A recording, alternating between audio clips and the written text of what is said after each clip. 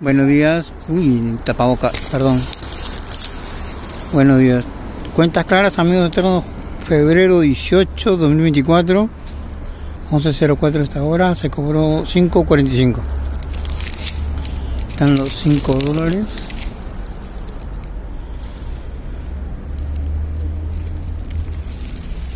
Ya. Y se queda ahí.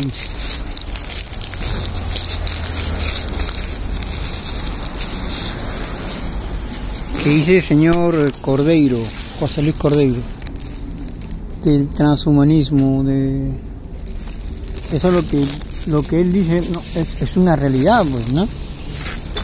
Hay nanobots en el cuerpo, pues, son capaces de regenerar las células, pero son capaces también de dañarlas. O sea, son que la puedes usar para bien o para mal dependiendo pues no quién lo usa.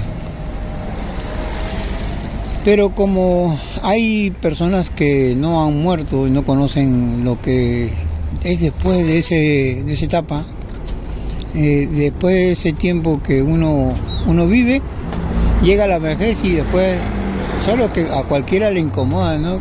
pensar, pensar que la juventud pasó y, y como yo veo mi juventud, mi, la que yo viví, bueno, de eso vivo yo creo, ¿no?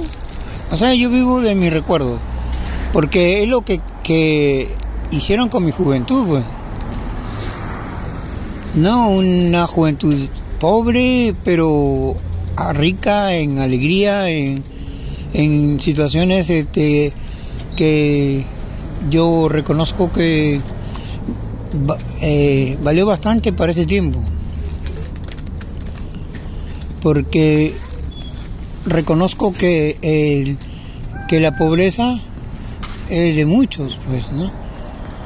Imagínese eso no hubiera podido reconocer si fuera rico, digo yo, ¿no? Porque al rico le conviene que el pobre siga, siga siendo pobre, ¿no? Y lo mantiene con un sueldo, pues, que no alcanza, ¿no?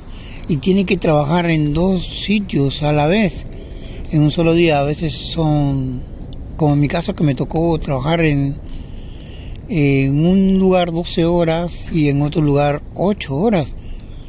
Y era bien sacrificado. Era bueno, pues por sacar adelante lo que ya se había hecho, ¿no? Un compromiso sin, sin meditar el, las consecuencias, ¿no? Sin tener una profesión, sin... Bueno, pero se salió adelante.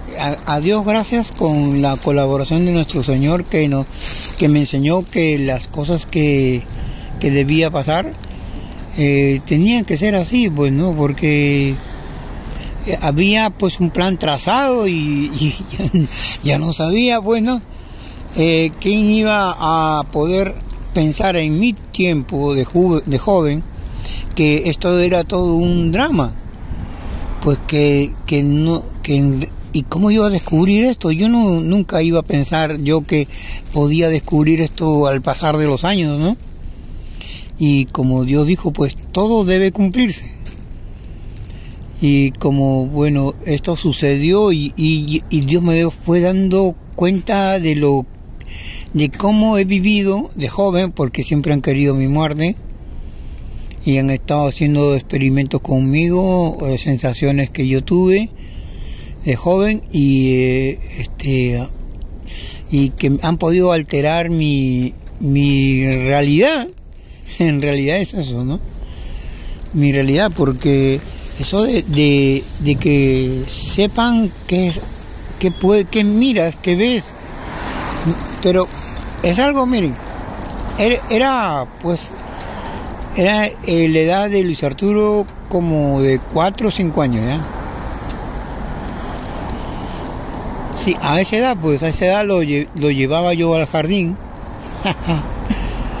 ya, y este, y él me decía con la edad que tenía, pues, eh, eh, mira, mira si viene el bus. No, no viene. No, con tu ojo, con tu ojo biónico algo sí, así me dijo, con tu ojo biónico. que si podía ver yo si viene el bus. O sea, uno lo puede ver, divisar de allá, pues, pero más allá uno no puede ver, pues. Pero él se refería a eso, pues, pero yo no entendía. Eh, esas cosas fue Dios hablando conmigo eh, en todo ese tiempo de reconocer que hay algo más de lo que yo no sé. Y eso lo decía el Saturo. Nos fuimos a la escuela, pues, ¿no? Y, y yo, lo, yo este, eh, muy intrépido en, mi, en, en, ese tiempo, tenía, eh, llevaba la bicicleta del correo. Sí. Y bueno, yo lo estoy viendo ya. y eh, me agarré de atrás de la parte de, de trasera del bus lo cogí y el bus me llevó sin esfuerzo porque era subida, todo eso era subida, pues, y, y eh, pedalear subida pues, con el niño ahí era un poco este, cansado, ¿no? Entonces me agarré del bus y el bus me llevaba. Y, y, Luis Arturo primero empezó a llorar y después empezó a reír. Y son recuerdos, pues, ¿no? Son recuerdos que uno lleva, ¿no?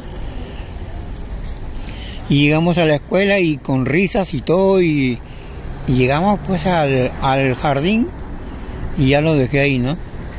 Después pasaron dos años, yo lo inscribí en una, en una, un instituto superior que está frente a la casa, o sea, está en la avenida Venezuela, al frente es el CIMA, el CIMA es una urbanización que está frente a Ciudad del Pescador.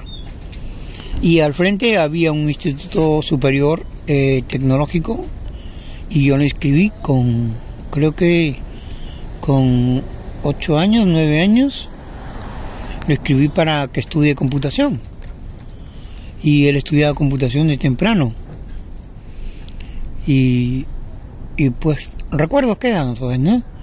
De las cosas que he vivido, pero